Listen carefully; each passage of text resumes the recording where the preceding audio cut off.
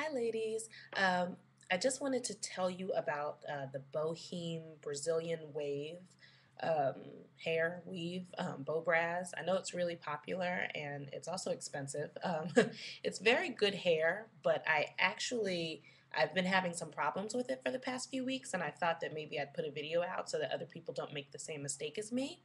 Um, I went swimming um, in a pool with chlorine about two weekends ago, and it completely ruined the hair.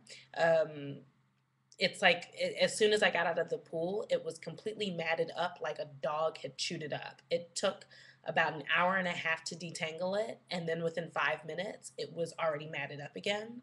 Um, so I had to do that about three times, and eventually just like braided my hair and had to soak it in uh, like a conditioning mask um, a few times, and it sort of went back to normal, but not really because every night I have to detangle the hair. Um, and it's a huge pain. When I first got it, I didn't have to detangle anything. It was like I'd put a scarf, put on my bonnet, and go to sleep, and in the morning just kind of spritz it with my spray bottle.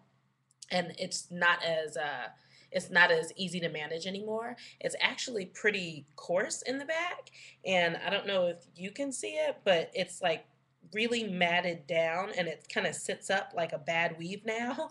So I have to constantly like condition it every day and like put oil in it. So, you know, for what it's worth, hopefully other people, you know, find this useful. Be really careful with the Bobraz because if you get into chlorine, I hear salt water can affect it too, but I didn't try that.